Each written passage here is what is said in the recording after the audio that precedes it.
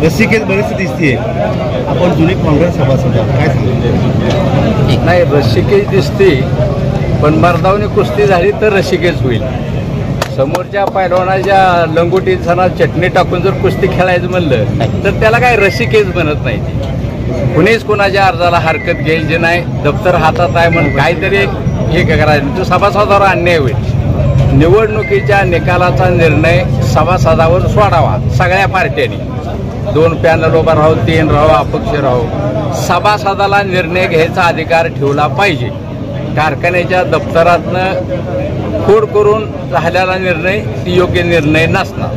आणि माझं चॅलेंज आहे आव्हान आहे जर आपण आपला सभासदावर विश्वास असेल जर आपण चांगलं कामकाज केलं असेल किंवा जर आपली मर्दाची अवलाद असेल तर उघड्या मात्यानं लढावं. दप्तरात घोळ करून लढू नये. कल्याणराव काळे काय दप्तरात घोळ करतील नाही शंकेचा आता विठ्ठल जेवढा तसं काय झालं नाही पण काहीतरी कानावर येतं काहीतरी चर्चा कुठली तर उदाहरणं. आता दीपकला सभासदत्व कमी करायचा प्रयत्न करणे ह्यातनं शंका येणारच ना. काय काही कुठली चूक खोट त्याची नसताना त्याला जर सभासदत्वातनं कमी करायचं निर्णय घेतला आणि ती बी दामण नाही पोराला ज्या दामनानं कुठंही नाव नसतं संबंध त्यात काय सुद्धा नाव? मी नेतेच्या आदेशाप्रमाणे वागणारा माणूस आहे. एखाद्या स्वभावाचा असतो असला छत्रंजा उचलायचा त्यात आम्ही आहे पहिल्यापासून. त्यामुळं त्यांनी जे आदेश त्यावेळेला दिलं त्या आदेशाप्रमाणे वागलोया. ओके. आता त्यांनी निर्णय घ्यायचा ना. सभासदासाठी करायचा आहे का दोन दिवस गोळणारासाठी करायचा आहे? नेता म्हणून सणा दीपक पवाराच्या डोक्यावर बसायचा आहे. का कार्यकर्ता म्हणून कल्याणराव काळेच्या मागे फिरायचा आहे? की मोठ्या नेत्याने विचार करावा. आमच्या पैसे आलं तर नेता येतं आता कुणाला डॉक्टरचं कंपाऊंडर व्हायची हौस आली असेल तर मी तर काय करणार? पण तसं नसावं. असं मला वाटतं. असं होणार नाही. तुम्ही वसंतदादाचा काळ पण बघितलाय आणि कल्याणरावचा पण काळ बघितलाय याच्यात दोघात कंपॅरिझन कसं करतो? नाही कंपनीत तसं खूप फरक आहे हो. दादा म्हणजे असं काय आयत्या पेटावर आलेलं नव्हतं ना. अतिशय कष्टानं यापानं. मग त्यात काय कुलंगड्याचं याप असेल काय प्रयत्न असेल सगळ्या लोकांसंग जुळवून घेऊन आलेला या आयत्यावर असल्यामुळं त्याला कौतिक नाही होत ओके. घालून ह्याला चेअरमन करायला लावलंय. आणि ह्याला ते स्वतः समाधान काळे असे पन्नास शंभर साक्षीदार आहेत. ते माझ्याच पोराचं सभासद होतं रद्द करायला नाही करायचं मी मुळावर गाव घालायचं. म्हणजे एखादा माणूस किती कृतज्ञ असतो त्याचं ते उदाहरण आहे.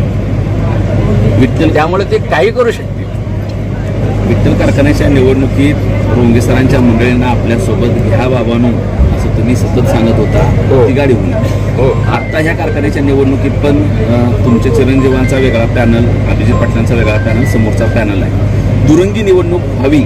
यासाठी अभिजित सॉरी दीपक पवारांना वडील म्हणून काय सल्ला असणार आहे बाबा जुळवून घे म्हणून? आता पहिल्यापासून आयुष्यभर मी छत्रजा उचलत आलेला माणूस आहे. मी काय मोठा पुढारी नेता वगैरे काय नाही. जी नेता उभारल त्याच्या सगळं प्रामाणिक राहायचं सेवा करायची त्या हिशोबात वागत आलेला आहे. आता विठ्ठल परिवारानं विठ्ठलच्या सभासदांनी ज्याला नेता मानलं ज्याला निवडून दिलं त्या माणसाला परिवारानं नेता मानलं पाहिजे. त्या माणसाच्या सल्ल्यानं दीपकनं सुद्धा चालावं. आणि मी तसा प्रयत्न करणार आहे. मुळात तर आमच्या घराची मी पद्धत आहे की मी पंच्याऐंशीला बंडखोर करून वडला विरोध पॅनल टाकला होता. त्यांनी सुद्धा मला असं काय सल्ला आकळलं नव्हतं. तरी सुद्धा मी आता दीपकला सांगणार की काही झालं तरी रिझल्ट चांगले असतील. दोघांचंही टार्गेट रोंगे असो आबा असो नाही तर दीपक असो. ही वाईट प्रवृत्ती सभासदाला छळ करणारी कामगाराचं नुकसान करणारी प्रवृत्ती जर घालवायची असेल तर स्वतःचं काय त्यात पुढं रेटू नका. कल्याणराव काळ्यांना कारखान्यावरनं हकलणं एवढं एक टार्गेट ठेवा. मग कुणी बी चेअरमन व्हा कुणी बी व्हाईस व्हा कुणी बी संचालक व्हा. सभासदासाठी जर तुम्हाला लढायचं असेल सभासदाचं हित बघायचं असेल तर ही टार्गेट पाहिजे असं माझं स्पष्ट मत आहे. तुम्ही पहिलाही काळ बघितलाय आताही काळ बघितलाय. काय कंपॅरिझन कसं कराल? नाही कंपॅरिझन म्हणजे अभिजित आणि कल्याणरावमध्ये जर सांगायचं असलं तुम्हाला विचारायचं असलं तर स्वतःचा अनुभव आहे. मी विलासनारायण माझा धाकटा पोरगा होतो. दुसरी जीप गाडी करायला लागून म्हणून कुरुलच्या स्टँडवर उन्हात आम्हाला सोडून कल्याणराव पुढे गेले ते लातूर उस्मानाबादला आणि एका संचालकाला त्रास झाला तर स्पेशल विमान करून अभिजित आव्हानं मुंबईला नेलं. ही तुम्ही स्वतः साक्षीदार ह्या गोष्टीला.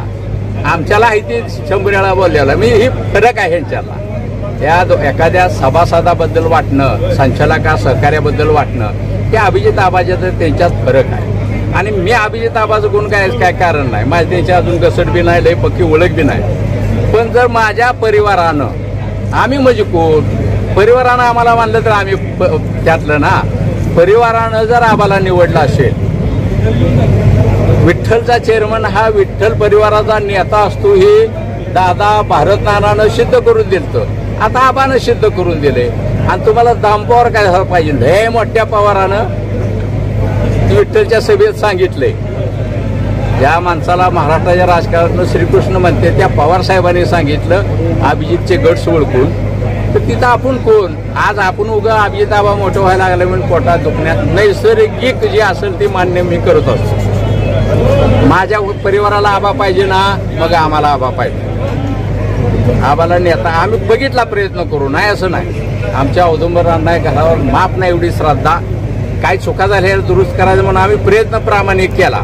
तुम्ही उद्या आबाला विचारायचं विठ्ठलच्या निवडणुकीत अर्ज काढण्यापूर्वी चार बैठकी झाल्या चार माणसं ती त्यांनी काय वेगळं वेगळं सांगितलं अमुक तमुक केलं. पण आम्ही म्हणलं आम्ही युवराज दादाला शब्द दिलेला आहे. त्यांनी न मागता तर आता ह्या परिस्थितीत आमच्यात बदल होऊ शकणार नाही.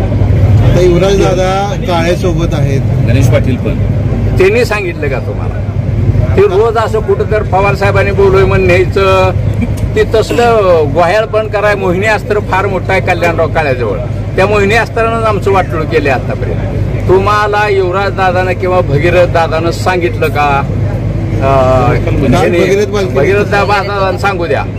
गणेश दादानं सांगितलं का मी कल्याणराव काळेकर आहे म्हणून. मी काय म्हणतो याला काय अर्थ नाही. मी तुम्हाला म्हणेन रात्री मला मोदी साहेबाचा फोन आलता. जरा लोकसभेला लक्ष दे म्हणून सांगितलं. माझं खरं धरू नका. कल्याणराव काळे भगीरथ काय म्हणते आणि युवराज दादाचं तुम्हाला शंका तर कशा कशी? वसंतराव काळे भारत बालके एवढा मोठा उपकार अण्णाच्या घरावर कुणी सुद्धा केला नाही. त्या उपकाराची जाण ठेवून जर तिकडे जायचं असलं तरी माझ्या हरकत आमचं नेता येते नेताला दिसत आवणार आपण कोण?